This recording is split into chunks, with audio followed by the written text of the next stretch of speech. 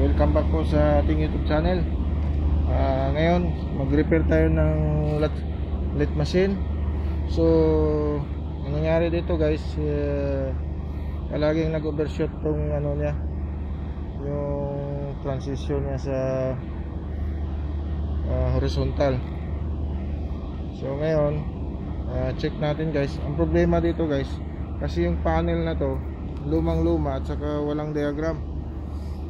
So check na lang natin to one by one. Ito yung panel niya guys. Yung lumang-luma na yan. So lumang modelo. So tingnan natin yung sa loob ito. Kita niya. At saka ang hirap dito guys, wala itong diagram. So kaya manmanin talaga natin to isa-isa. So ito, i-analyze na natin yung problema niya. Ayan. Wala na kasing diagram ko eh, kasi luma-luma na. So ngayon guys, i-test ko na kasi na-repair ko na to kahapon. Ay, okay. Good morning. Ngayon, i-testing ko na to guys kasi kahapon nakita ko ng problema. Ito yung pinaka-hydraulic niya. Tapos ito yung machine. Ayan. Luma na kasing modelo to guys. Pero functional pa yan. So ngayon, testing natin. Kuha natin yung power. Tama na. So, testing natin guys.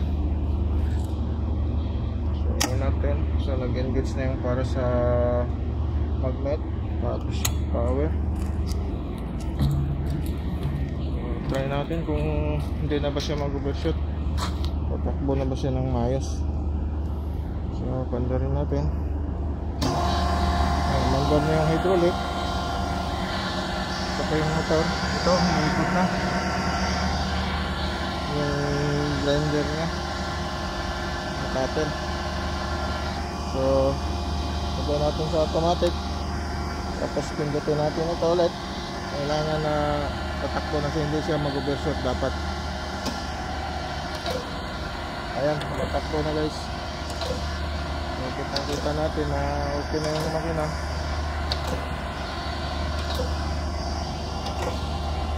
Ayan. Kita na natin. Nag-automatic na siya guys. Kasi kahapon, ang nangyari, itong ano niya, yung takbo niya, palagi niya siya dito sa kabila, lumampas, nag-overshoot at hindi na makabalik.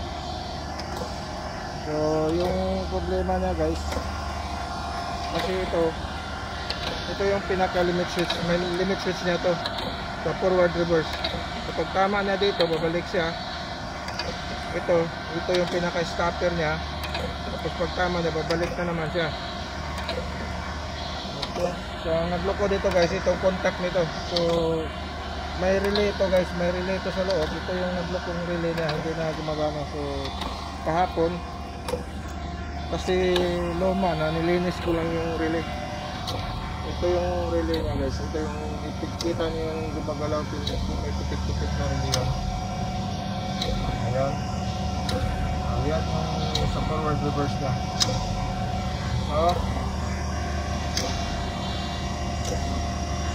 Okay guys, so pag mag-ayos kayo ng ganito guys na napakahirap talaga kung tingnan mo kung wala kang idea idea wala kang masundan na diagram so ang gagawin nyo baybayin nyo talaga yung kable kung saan siya papunta.